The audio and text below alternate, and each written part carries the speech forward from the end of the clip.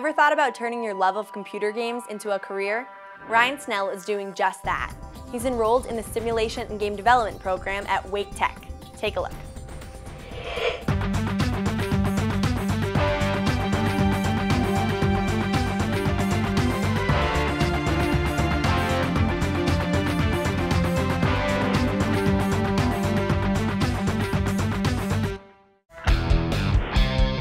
My name is Ryan Snell.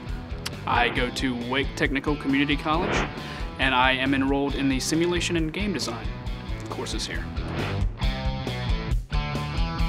I would just say I'm a game developer because I go through the entire spectrum of everything that involves game design. From, like I said, the art, the programming, the production. Every single cycle, I have a hand in. I was planning on going to Virginia to take classes until my girlfriend found this school.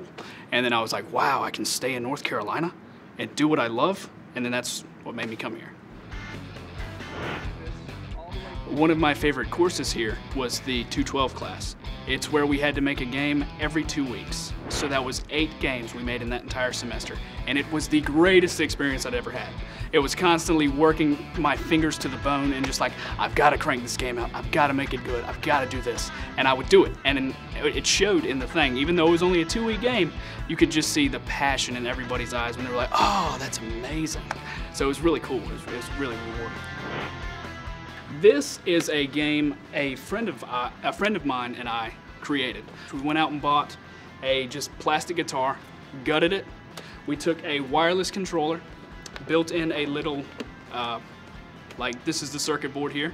We wired the buttons from the wireless controller up into the neck of the guitar, so now it's fully functional.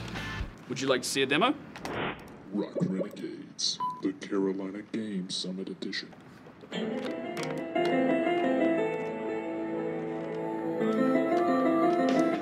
So it was it was kind of like a culmination between my friend and I's um, two talents.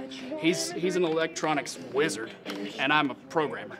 So, and it's it's amazing to see that the two of us could accomplish this while there's a company who's making money doing this exact same thing, making instruments that correspond with notes coming down. And everything that they have in their game, we basically have a much toned down version in ours. It's the exact same thing. Every single element, we even have a microphone that's compatible.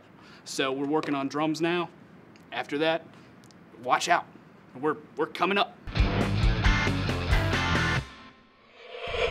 Programs, like that one at Wake Tech, encourage students to embrace technology while celebrating creativity, ingenuity, and an entrepreneurial spirit. Be sure to visit your local community college for more on the programs they offer in simulation and game development. And for more information on anything you've seen today, explore our website at atetv.org. Thanks for watching.